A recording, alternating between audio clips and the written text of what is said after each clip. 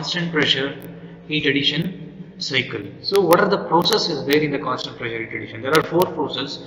So first one process 1 to 2 is reversible reversible adiabatic compression reversible adiabatic compression or or isentropic compression isentropic compression next process 2 to 3 so process 2 to 3 is constant pressure constant pressure heat addition constant pressure heat addition. Next process 3 to 4 reversible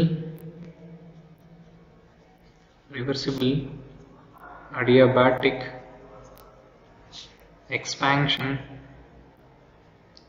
reversible adiabatic expansion. Next process 4 to 1 constant constant volume constant volume heat rejection. Constant volume heat rejection. So for this we'll see how to write the PV and TS diagram. PV and TS diagram. See first I'll write PV so P means 1 to 2 reversible adiabatic compression. So compression means the volume is reducing and pressure is increasing. So this is a 1 to 2 next 2 to 3 constant pressure. So it's the horizontal line at constant pressure volume is increasing. Okay? Next reversible adiabatic expansion. Expansion means volume is increasing pressure is reducing then join. Okay? So this is 4 this is 1 so 1 to 2 adiabatic compression 2 to 3 constant pressure heat addition 3 to 4 adiabatic expansion and 4 to 1 constant volume heat so here is P is equal to constant and here is V is equal to constant. This is PV power gamma is equal to constant. So PV power gamma is equal to constant. This is a PV diagram. So how to write TS diagram for this. So TS diagram adiabatic compression. Usually adiabatic means heat transfer is 0 and entropy is constant. S1 is equal to S2 so if it is a constant so x-axis is entropy. We can take it as a vertical line straight line. So 1 to 2 next constant pressure heat addition. So constant pressure heat addition so we'll take it as a curve. Okay? Next is a reversible adiabatic expansion. Again q is equal to 0 s3 is equal to s4 so we'll take it straight line. Again this is a 4 next we'll join. So this is a heat rejection process. Here it is q in and here you'll get q out. Okay q in heat addition q out heat rejection okay so we'll see one by one. So what is the process 1 to 2 so process 1 to 2 you get adiabatic compression. So q is equal to 0 s1 is equal to s2 then you'll get temperature and volume relation that is t2 by t1 is equal to v1 by v2 power gamma minus 1 so here you get one ratio that is compression ratio.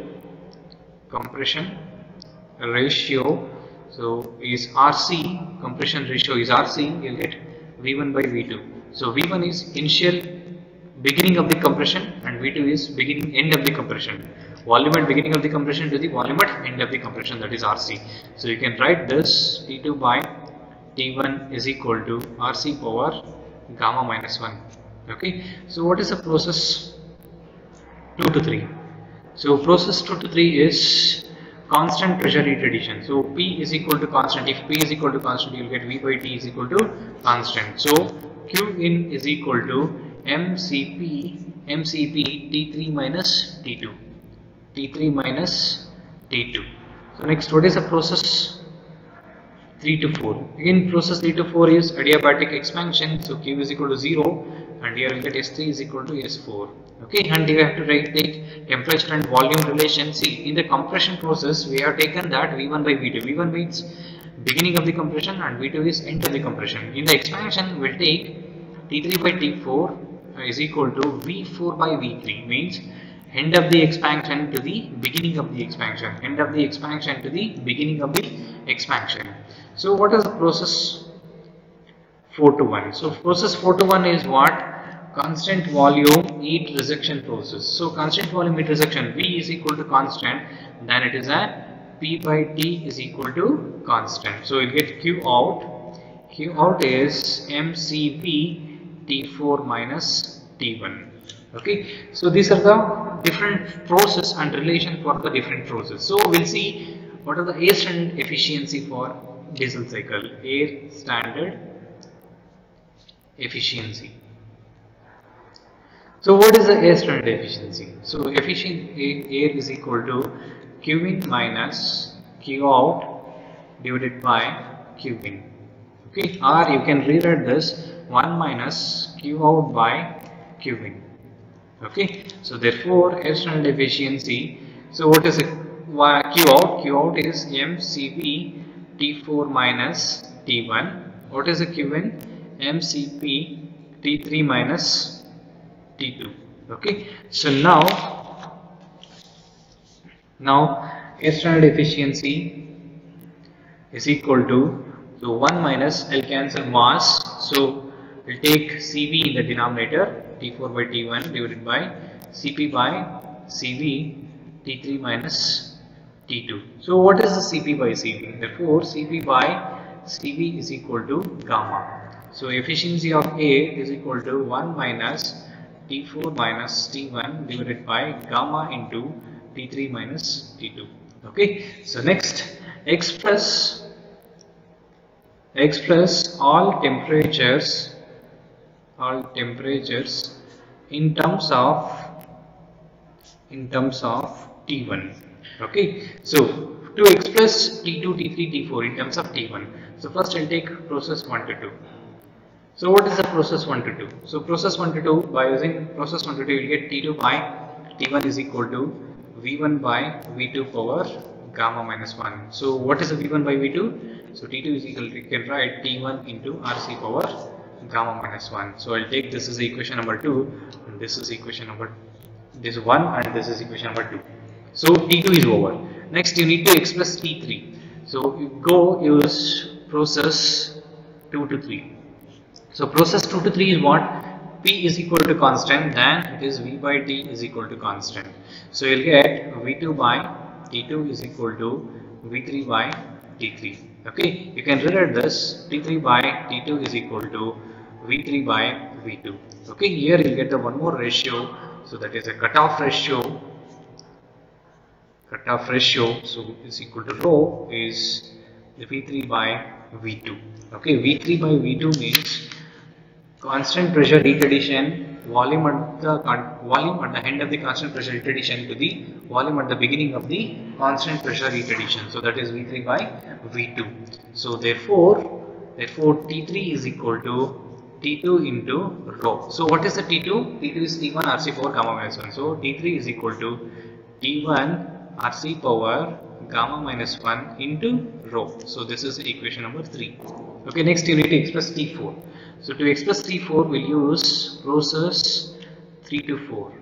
So process 3 to 4 is again it's an expansion process so T3 by T4 is equal to V4 by V3 power gamma minus 1 okay from PV diagram from PV diagram you can say that V4 is equal to V1 so V1 divided by V3 power gamma minus 1 or you can write this v1 by v2 into v2 by v3 power gamma minus 1 so v2 v2 get cancelled getting and v1 by v3 only. So here what is the v1 by v2 v1 by v2 was rc and v2 by v3 is rho is v3 by v2 so we'll get reciprocal of it. So we'll get the rho rho power gamma minus 1 okay this is a t3 by T4 but I want expression for T4 therefore you can write T4 by T3 is equal to rho by RC power gamma minus 1 rho power gamma minus 1 by RC power gamma minus 1 so therefore T4 is equal to T3 into rho power gamma minus 1 by RC power gamma minus 1 so what is the T3? So T3 is what? T1 RC power gamma minus 1 into rho. So substitute here.